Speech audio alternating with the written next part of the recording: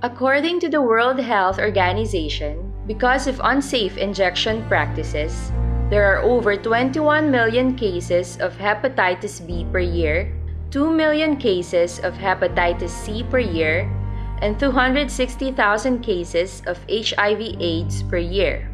In addition, unsafe injection will lead to 9 million years of life lost between year 2000 to year 2030. Reusing of syringes is a challenge, particularly in developing countries. Solution? Simplex Auto-Disable and Retractable Safety Syringe.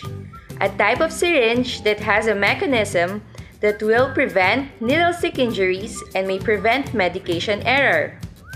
Let's stop the bad practices. Spread the awareness of the risk. Spread Simplex. Life is simple.